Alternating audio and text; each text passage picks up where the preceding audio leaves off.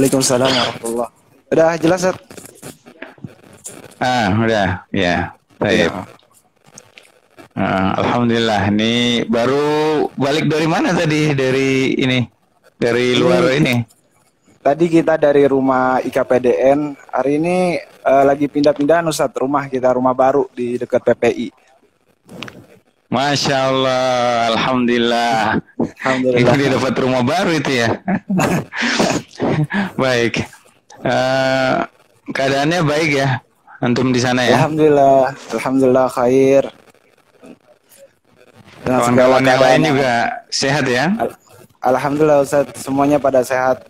Walaupun ya kita tahu sekarang lockdown ini ada di mana-mana, termasuk Sudan ini. betul betul, masya Allah. ya, saya dengar juga itu berita kemarin itu ada teman-teman mahasiswa perwakilan ke ke dubes minta ini dibalikin ya atau gimana itu? Oh iya, Ustaz, ada sebagian dari mahasiswa Sudan yang eh, ingin pulang. Jadi kita di sini ada beberapa mahasiswa Sudan yang ingin pulang karena memang eh, tenaga medis di Sudan eh, kurang mencukupi. Karena ya kita tahu sendiri Sudan ini eh, tem- tempatnya kurang kurang strategis untuk kesehatan. Tapi di sisi lain untuk ilmuannya insya Allah insya Allah banyak daripada ke masyayikh-masyayikh yang tawadu. Baik, alhamdulillah. Nah, itu sekilas info ya. Nah, baik kita lanjut nih bincang-bincang eh, daring atau bincang online kita sore ini. Eh, pertama-tama terima kasih nih kepada kawan kita Ustadz Adam Asabirin yang sedang menuntut ilmu di Sudan ini telah bersedia untuk ngobrol-ngobrol sore ini ya. Ya. Eh, sudah antum sudah berapa lama di sana? Eh, mungkin mau menjalani empat tahun saat saya datang ke Sudan. Eh, saya dari tahun 2016 Desember. Ya, Belum pernah Iya, balik, dari- belum pernah balik ke Indonesia ya? alhamdulillah belum Masya pernah balik ke sini. Masih Ini- betah kayaknya. Eh, Benar-benar apa namanya anak-anak perantau ini ya luar biasa ya. Masya Allah. Ham- hampir empat tahun belum apa namanya belum balik-balik ke Indonesia, Masya Allah.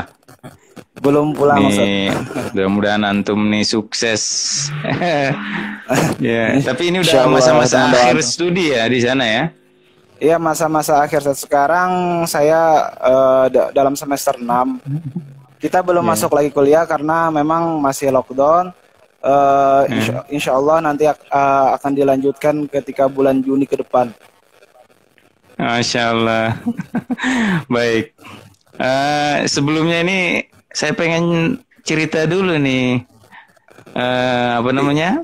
Kawan kita ini apa yang masyhur di Sidokom dari dulu ya. Karena menggemparkan PG pertama dulu ya dengan Masya Allah. kawan-kawannya. Masya Allah.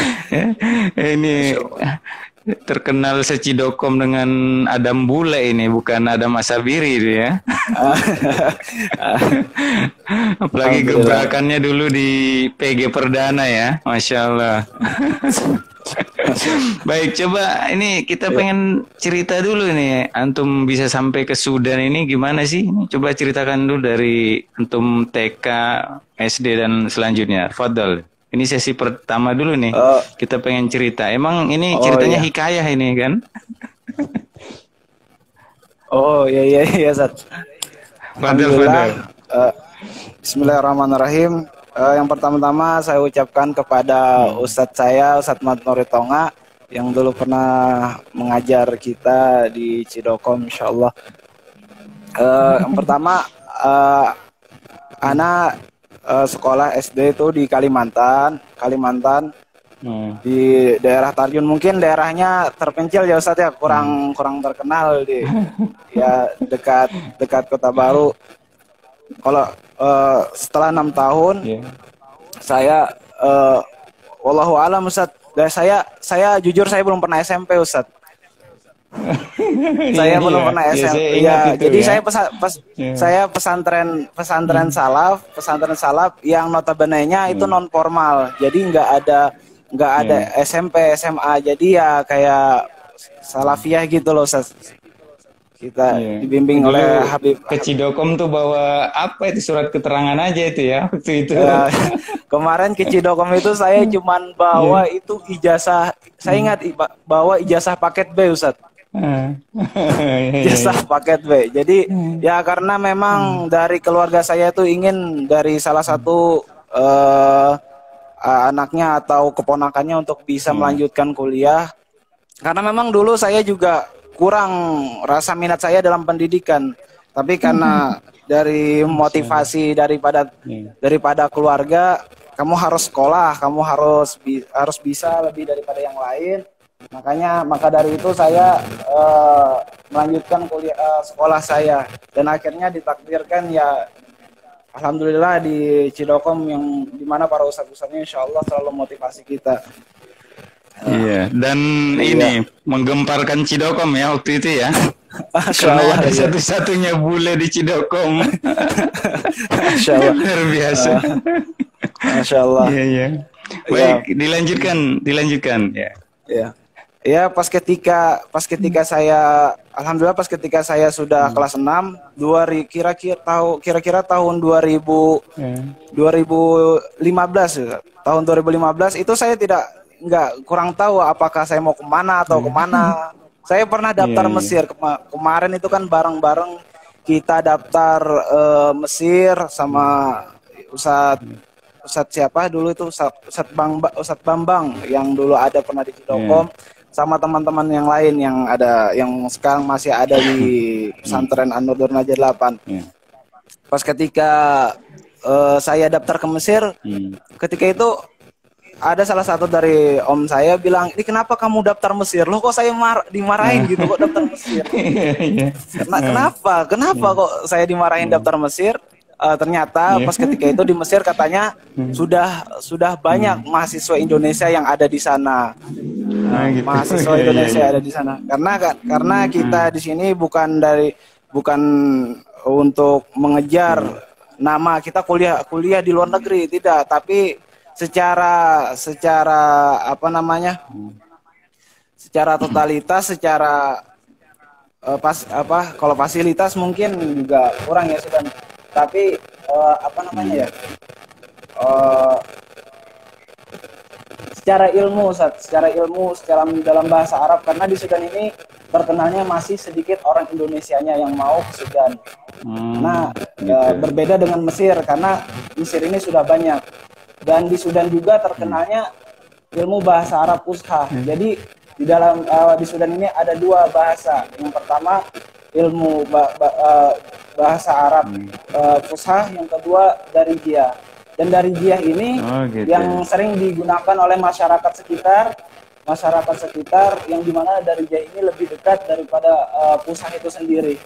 Jadi kalau kita misalnya berbicara sama ada geng Cidokong bergabung ini. Ustadz Muhammad Rizky ini. oh, Iya Ustadz. Ya, jadi kangen kan, kayaknya kangen ini melihat ini, melihat apa namanya? Uh, teman bule ini. Insya Allah nanti kita pulang bisa silaturahmi bareng-bareng. iya, iya. Lanjut, lanjut ceritanya. Nah. Jadi di Cidokom uh, uh, selesai itu ya 2000 2015 uh, berapa itu? Uh, terus siap-siap mencari beasiswa ya itu ya. Siap-siap mencari beasiswa. Saya, uh, hmm. saya niatan saya juga enggak uh, sebelumnya belum ada kepikiran untuk ke Sudan, tapi pada Allah pas ketika Allahnya yang saya ya tetap, tetap ada iklan gitu, lewat ini.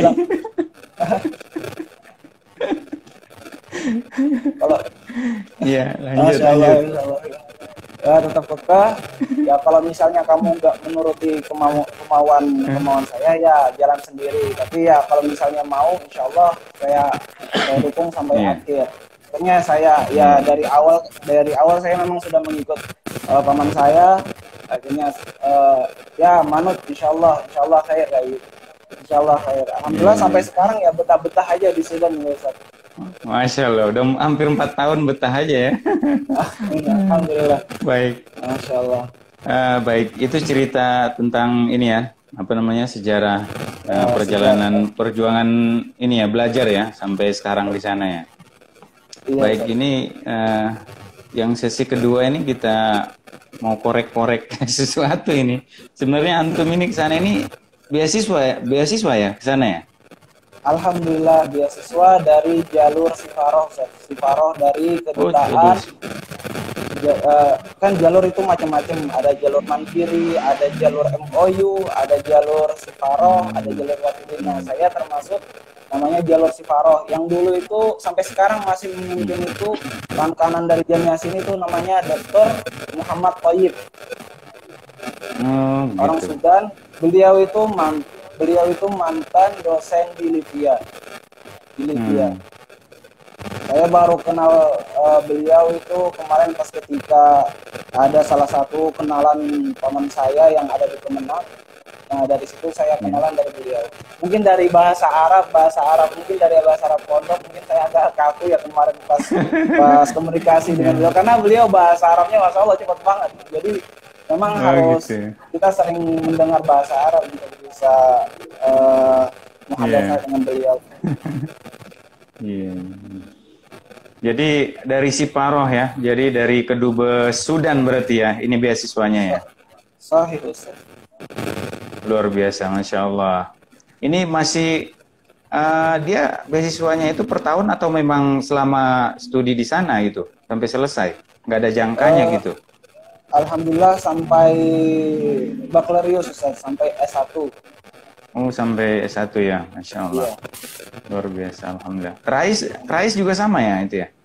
Iya, Rais juga sama, sama dengan hmm, saya. Okay. Hmm. Sebelumnya kita itu di beda universitas Ustaz. Jadi pertama kali datang ke Sudan oh. itu kita itu ada uh, dapat kabulnya itu di Jamiah Quran, Jamiah Al-Quran Al-Islami hmm. di kota Om Durman. Yeah. Makanya kemarin pas ketika bilang sama Ustadz Dedi, kata saya ah, saya diterima di ya.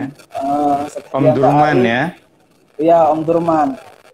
Bukan di yang sekarang itu apa? Uh, sekarang uh, di Hortum kita di kota Hortum namanya. Oh di Hortum uh, ya. Uh, Jamiah Afrika. Yang sebelumnya kita di Jamiah uh, Jamiah Al-Quran. Jamiah Al-Quran. Al-Quran, Masya Allah. Uh, yang penting nggak ada masalah. Yang penting sudah di Sudan, mau di Om Durman ataupun di Ifriqiya ini ya, Insya Allah berkah ya. ya. Uh, Sudan itu sendiri apa sih julukannya apa itu? Kalau Mesir kan bumi Kinana, apa ya? Kalau uh, Sudan kalau ini Sudan, apa ini? Macam-macam Ustaz. Jadi uh, ada yang bilang Sudan ini adalah negeri yang di mana negeri itu bertemunya dua Nil karena ada Nil biru hmm, dan ada Nil putih dan sebagian Masya. bilang terkenalnya itu karena negara uh, negeri seribu darwis yang di mana negerinya itu para sufi jadi toriko toriko yang ada di Sudan hmm. itu banyak Ustaz. Jadi ada toriko samanya. Jadi uh, kalau kita mencari toriko misalnya ke pelosok-pelosok, insya Allah mendapatkan masa-masa yang tawadu yang di mana beliau siap mengajarkan untuk kita dan tidak dipungut biaya sedikit pun. Oh, masya Allah luar biasa ya. Jadi uh, mungkin antum bisa cerita sedikit itu dulu antum itu persiapannya apa aja sih itu untuk uh, memenuhi apa namanya itu beasiswa dari Sifaroh ini, kedubes ini. Dokumen-dokumen oh. dulu, dokumen-dokumen wajib dulu oh, apa itu yang dipenuhi itu? Yang yang pertama itu yang harus dipenuhi itu yang pertama uh, ijazah pastinya, ijazah ijazah yang translate sudah juga itu ya uh, ya translate ke bahasa Arab translate ya. jadi itu scannya dulu kita kirim yang kepada pihak yang meminta yang akan mengirimkan berkas kita ke ke jamiah yang kedua uh, scan fotokop uh, scan paspor scan Jawa Safar paspor, ya. paspor. Hmm. So, yang ke yang ketiga SKCK surat keterangan polisi itu, yang keempat itu dari apa itu? Dari Polres itu dari, atau Polda atau dari Polres biasanya Ustaz. Biasanya paling uh, minimal minimal dari Polres ya. Iya Ustaz. Hmm. Kemudian yang, yang keempat? Yang keempat itu ada namanya uh, media medical check up. Sebenarnya medical, oh, medical check up, check up. Ini, okay. Sebenarnya medical check up ini nggak nggak mesti perlu tapi diwajibkan oleh yang meminta syarat permintaan berkas. Sebenarnya medical check up yeah. ini perlunya di Sudan ketika uh, cek kesehatan. Tapi oh, untuk oh, mencari mencari amannya karena kalau misalnya kita pergi ke Sudan kita ya harus jauh-jauh dari penyakit yang di mana penyakitnya itu seperti hepatitis. Hepatitis sama malaria. Kalau misalnya kita ketahuan hepatitis di Sudan maka kita akan langsung secara langsung akan dipulangkan. Kalau nggak pulang ya oh, ada resiko tersen ada resiko tersendiri yang kita akan tanggung itu itu ada yang kejadian atau ada pernah sering atau bagaimana Ya, uh, ada dari ada pernah kejadian dari sebagian teman Hana di Sudan dari ada yang tahun pertama, ada yang sudah tahun ketiga. Ya, hmm. karena memang sudah ditimpa oleh penyakit, akhirnya pada Allah hmm. harus pulang ke tanah air. Hmm, ya. Ini uh, makanya, Hadi Bontang ini yang bergabungan kita Hadi siapa nih? Abdul Hadi bukan? Mungkin yang uh, di Abdul Turki Hadi, bukan nih? Abdul Hadi. Yang di Turki ya? Iya, yang di Turki. Nah, ini ini juga harus kita ajak ngobrol-ngobrol ini dari Turki nanti ya. Masya Allah. Iya, ya, di Bontang ini sih baru ngah ini. Ya, siapa ini ya? Baik. Uh, jadi itu beberapa syarat ya? Ada empat tadi minimal ya? Itu yang iya, harus iya, dibawa ke ke dubes itu ya? Iya. Kalau baik, ada iya, lagi nggak? Uh, ada lagi nggak syarat-syarat uh, sunnahnya gitu untuk memperkuat syarat utama tadi dan lain sebagainya? Sebenarnya cukup itu saja, Sat. Cukup itu cukup berkas yang dikirimkan. Ya? Uh, uh, untuk jalur tadi saya udah udah jelaskan jalur untuk ke Sudan ada beberapa macam. Pertama jalur jalur uh, jalur Sifaro, yang kedua jalur Kemenak, ketiga hmm. jalur M, jalur MOU, keempat jalur Mandiri. Nah, khusus Masya jalur Kemenak, hmm. khusus jalur Kemenak itu akan hmm. dites uh, da, uh, di tempat beberapa di beberapa kampus yang ada di Indonesia seperti di UIN, seperti hmm. ya di UIN itu dites. Tapi kalau hmm. misalnya kita ikut jalur yang lain, insya Allah kita cuma nunggu kobul, kirim berkas, nunggu kobul akan di kalau misalnya kobulnya sudah keluar nama-namanya maka kita akan dites. Tapi itu tidak memungkinkan kita nggak diterima. Kalau misalnya kita sudah dapat kabul, insya Allah kita akan diterima di jamiah yang ada di Sudan. Hmm, pasti itu ya, itu udah jaminan pasti, itu. Ya pasti. Walaupun kita gagal tes di jamiahnya, insya Allah itu ada namanya hmm. uh, mahat lugoh dalam oh, persiapan ya. Persiapan. Persiapan ya. Uh, idadi ya, itu ya. Baik. Uh, kemudian uh, tips-tipsnya itu gimana sih untuk memudahkan nembus itu beasiswa itu gimana gitu? Apakah harus ada KKN, korupsi, kolusi, nepotisme gitu? Ada orang dalam atau bagaimana itu? Ya, sebenarnya ya kita itu? tidak kita kita tidak pungkiri bahwasanya kalau orang dalam itu ada Ustaz. Jadi ya kita yang pertama ya pertama ya kita harus husnuzon kita hmm, ya betul, apa betul. namanya hmm. pertama kita yakin aja dulu Seth. kita serahkan berkas betul. kalau e, masalah terakhirnya ya kita ya kita tunggu aja gitu misalnya kalau rezeki ya insya Allah dapat ya saya hmm. juga nggak e, yang dulu pertama-tama saya mau ke Sudan itu saya nggak ya mau ah diterima nggak sih ini diterima nggak kayaknya sih enggak ada di perasaan saya tuh kayak kok enggak gitu loh kayak gitu tapi ya tawakal ya aja gitu ya. Ya, tawakal aja. Setelah berusaha, tawakal aja gitu ya. Nanti hasil akhir insya Allah membuktikan gitu. Tapi tentunya setelah antum apa ngasih berkas dan lain sebagainya itu kan itu suatu perjuangan juga menerjemahkan macam-macam itu. Ya, saya pernah ya. merasakan juga itu ketika dulu mau S2 ke Qatar nggak jadi itu ya. Saya urus-urus ya, itu penerjemahan ya. aja itu udah lima kena berapa ratus ribu gitu kan. Iya memang. Ngurus-ngurus memang.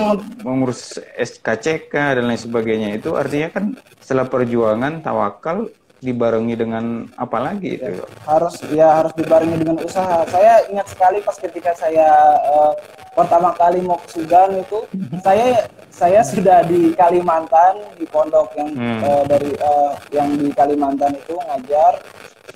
Terus yeah. ditelepon sama ada namanya Pak Agri. Mungkin beliau masih di kedutaan atau belum, saya kurang tahu. Beliau yang ngurus hmm. berkas saya. Ustaz, Sadam, ini gimana berkas SK, uh, medical check up hmm. antum? Besok harus dikirim ya. Padahal waktu itu oh, saya sudah, saya saya di yeah. Kalimantan dan belum medical check up. Biasanya itu yeah. kita dikasih rujukan medical check up itu beda di daerah di daerah Kampung Melayu. Ada saya lupa namanya oh, medical check up insani. Hmm. Ya. Jadi otomatis ketika saya di Kalimantan dalam sehari itu saya harus besok harus menyerahkan berkas saya itu ke kedutaan. Jadi saya bingung mas. Karena uh, iya, iya. Allah ya Allah, Allah mungkin ada jalan lain yang Allah kasih kepada pada anak sendiri. Bah, ya yeah. langsung langsung lah di situ saya langsung terbang. Cuma tiga hari ke Jakarta dari Kalimantan gara-gara untuk medical check up aja itu. Itu perjuangan luar biasa itu ya. hari, yeah.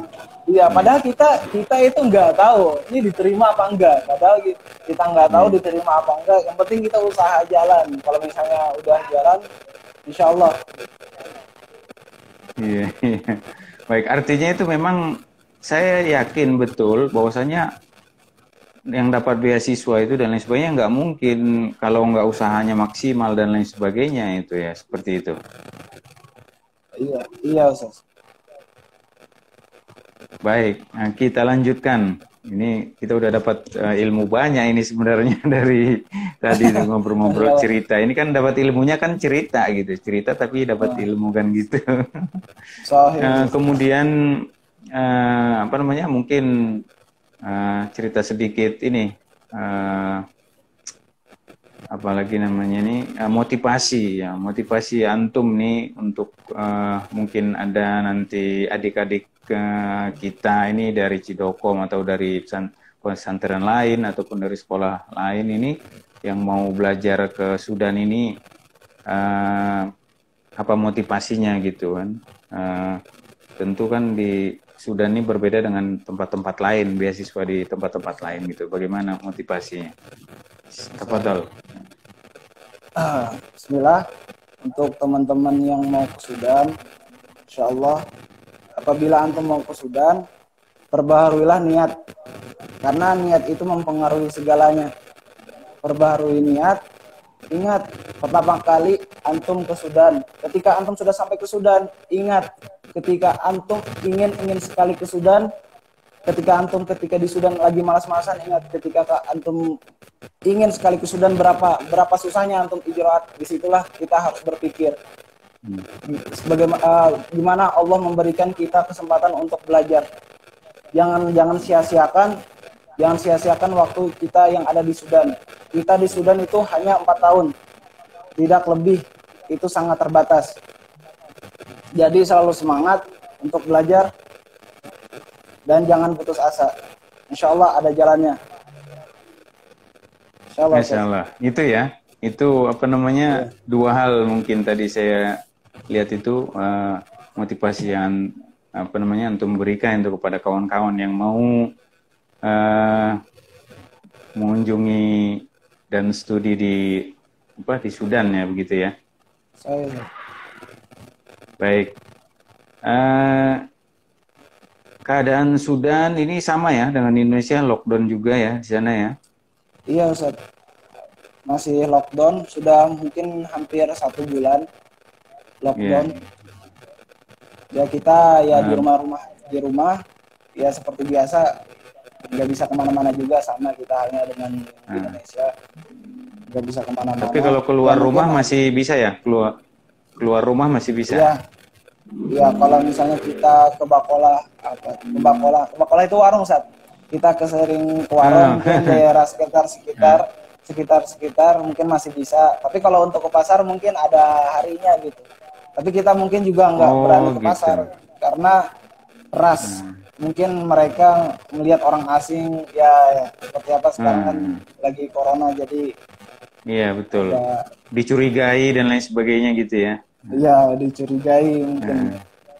Hmm. Uh, kalau masalah ibadah itu gimana di sana? Berlangsung atau gimana? Sholat jamaah, kemudian sholat, apa namanya itu taraweh itu bagaimana di sana? Kita di sini dari KPDN kita inisiatif sendiri mungkin dari di, dari keluarga yang lain mungkin juga sama. Kita sholat di rumah berjamaah. Kalau misalnya sholat taraweh insya Allah kita juga ada ada kegiatan sholat taraweh berjamaah di rumah. Karena di masjid-masjid itu hanya azan adanya azan jadi oh, setelah itu iya. pagar-pagar pagar-pagar masjid itu dikunci karena kebijakan baru kemarin kan karena lockdown akhirnya cuma azan kita nggak boleh ke masjid kita sholat taraweh berjamaah di di rumah sholat berjamaah di rumah nanti kita mungkin juga wallahu alam apakah sholat id kita juga ada id, ya. hmm. uh, mungkin di rumah atau buat orang Indonesia atau kayak gimana mungkin karena ini kan perdana buat kita yang ada di Sudan iya iya iya iya Berarti tidak jauh beda dengan di Indonesia ya. Di Indonesia juga begitu, so, tapi ada juga yang masih bandel-bandel ya sebagian tempat di Indonesia. So, so, so. Baik. Uh, mungkin apa namanya? Ini udah mengganggu waktunya ini udah 40 menitan ini kita ini udah ah. apa namanya? banyak mengganggu waktu saat Adam ini kita ini dari Sudan sana ini ya.